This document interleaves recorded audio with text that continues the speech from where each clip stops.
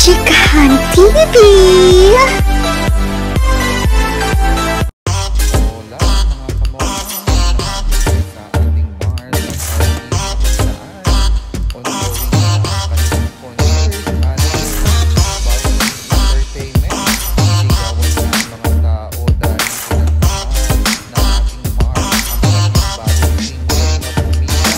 At bago nga kumanta ang ating Mars nagbiro pa nga ito sa kanyang mga audience Punong-puno nga mga kamosang ang crowd ng Music Museum.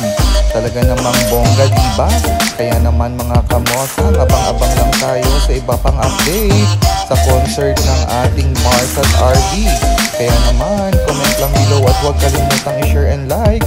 At kung kayo ay bago sa aking channel, huwag kalimutang mag-subscribe. Babush! I hear a lot of people talking like they politicians and choose to be an accountant because it's safe in the business.